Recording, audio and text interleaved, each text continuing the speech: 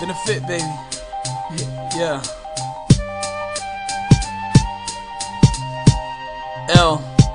Look. I switched my game up. One of the ways I came up was ripping rapper spinal cords right up at the anus. My dream is to be famous, so I can waste my money putting my evil seed inside of Vanessa Hudgens' tummy.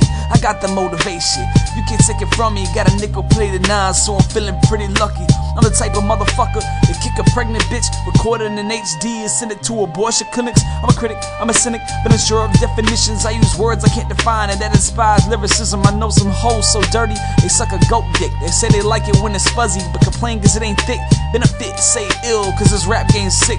Throw a noose over a limb cause I don't like to smack a bitch. I'd rather fit her head inside a hole or watch it till she choke.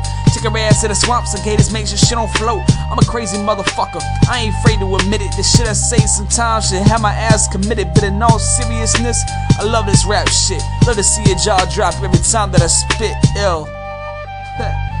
yeah, fuck with it. Yeah.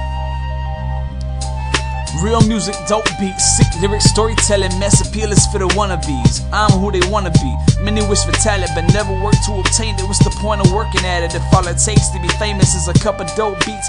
Hooks that the kids love. oh, respect from the realest, not the Justin Bieber fan club. I busted ass every day. Wrote a million whack verses, try to mimic my idols, but that just wasn't working. I slowly realized I had the power inside. I spit some shit so powerful it would blow out your insides. Now that my eyes are open, this lyrical gun is smoking. The flow is my mind creator, that's part of the potent potion. I ain't even been smoking, so just imagine the damage I can do with this talent, bitch. I'm the rascaliest rabbit. I lend careers with this music. Fuck your face if I choose to. I'm just a crazy motherfucker with no direction to plan. You lucky that you caught me without a pistol in my hand, cause to be honest, I feel like pointing the gun at your fam.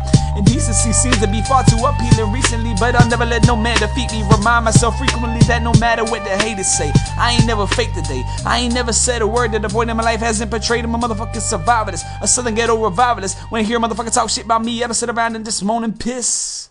Ill, bitch.